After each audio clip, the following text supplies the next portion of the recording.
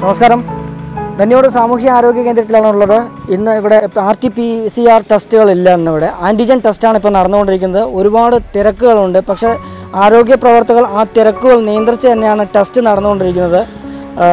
ഇന്നലെയും മിനിഞ്ഞാന്നുമായി രണ്ട് ദിവസങ്ങളായി മഴയുണ്ടെങ്കിലും ഇന്ന് കനത്ത വെയിലാണ് ഉള്ളത്. ആ വെയിലത്തും ഒരുപാട് പ്രായം കൂടിയ ആളുകളും അതുപോലെ തന്നെ ഒരുപാട് ആളുകൾ നിരന്ന് നിൽക്കുന്നത് നമുക്ക് കാണാം.